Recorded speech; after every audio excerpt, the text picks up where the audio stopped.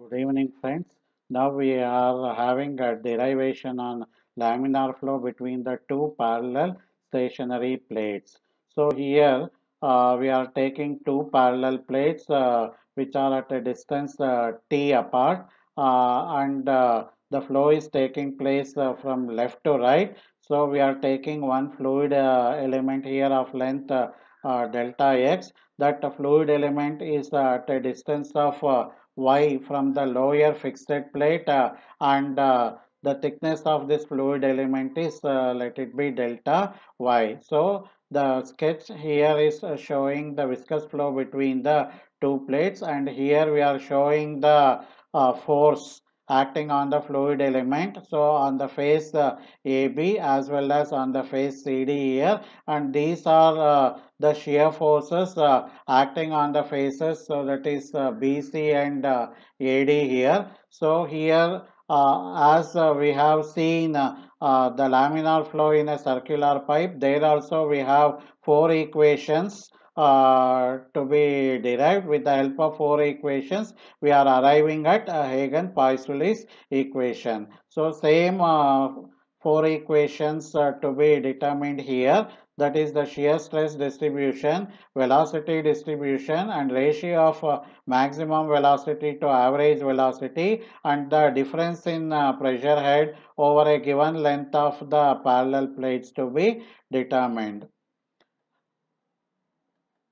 Now uh, consider uh, two parallel plates uh, which are kept at a distance uh, t apart. A viscous uh, fluid is flowing uh, between these two plates from left to right. Consider a fluid element of length delta x and thickness dy at a distance y from the lower fixed plate. Let uh, P is the intensity of pressure on the face AB. P plus del P by uh, del X of dx is the intensity of pressure on the face uh, CD. Now tau is the shear stress on the face uh, BC. So if you uh, consider this uh, picture, so on the face BC we have the shear force again is the flow. Uh, so flow is from left to right. So the shear force uh, due to viscosity. So that is uh, acting again is the flow. So we have uh, one more shear force. So that is on the face AD which is opposite to this force which is acting on the face uh, BC.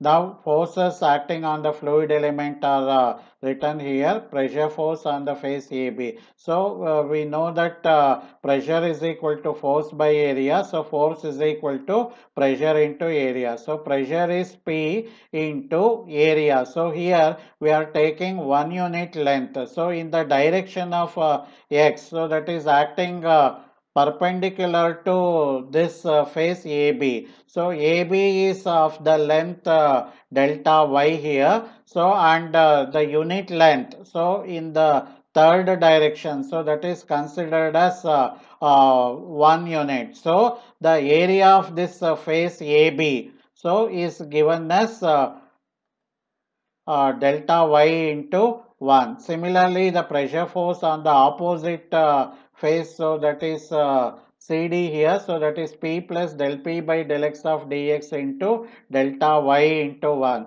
Now the shear force acting on the face BC. So shear stress multiplied by the area. Now if you consider the face uh, BC here, so it is having the length uh, here uh, delta x and the other dimension so that we are taking uh, in the third direction so as uh, one unit. So it is uh, the area of this uh, face BC is written as so delta x into the unit length. So that is 1. So it is delta x into 1.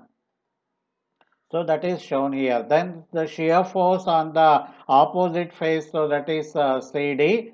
So that is here. So we have uh, tau plus uh, del tau by del y into del y into the cross sectional uh, area of the face CD. So that is uh, delta x into 1. Now summation of forces uh, uh, in the direction of the flow will be 0 uh, when uh, uh, the flow is steady and uniform because there will be no acceleration for steady and uniform flow. So acceleration remains same. So we take that uh, summation of forces in the direction of flow will be 0. So summation of forces is equal to uh, made equal to 0. Here we are showing all the forces acting in the direction of the flow. So the force which is acting from left to right will be having positive sign. So that is this is having positive sign. These two are have flow going from uh, right to left carrying minus sign and then uh, one more uh, shear force that is uh, flowing uh, from uh, left to right. So that is taken as positive. So left to right. So that is taken on the face AD so it is going from left to right. Whereas on the face BC here it is going from right to left. So that is carrying uh, minus uh, sign here. Then simplifying uh, everything. So we are uh, and rearranging the terms. We are getting uh, del p by uh, del x is equal to so this uh, del tau by del y. So that is my equation number one. Now taking a velocity distribution. So substituting that is tau is equal to mu into du by dy. So this is my uh, Newton's law of viscosity for the laminar flow. So we are uh, taking uh, this equation. So that is del p by del x of del tau by del y. So we are substituting tau in this particular uh, equation. We have del p by del x of del by del y of tau is substituted as uh, mu into du by dy. So we are getting uh, uh, this uh, uh, partial derivative as uh, mu into del square y by del y square on differentiating. So then del square u by del y square is equal to 1 by mu into del p by del x. So integrating this with respect to y, we are getting this so we have constant of integration C1. Integrating this uh, equation again, we are getting uh, one more constant of integration. So C1 and C2 are constants of integration. So then we have two boundary conditions at y is equal to 0. That is uh, uh, uh, uh the uh, plate uh, that is the lower uh, plate is taken here. So there the velocity is 0 and at y is equal to t. So that is the upper plate. So that is there also the velocity is uh, 0 here. Substituting this in equation 2 substituting the boundary conditions that is y is 0 and y is equal to t in my equation number 2 here so that is in the velocity equation. So we are getting uh, our constants of integration as C1 and C2 here. So substituting C1 and C2 back uh, in velocity equation, we are getting this.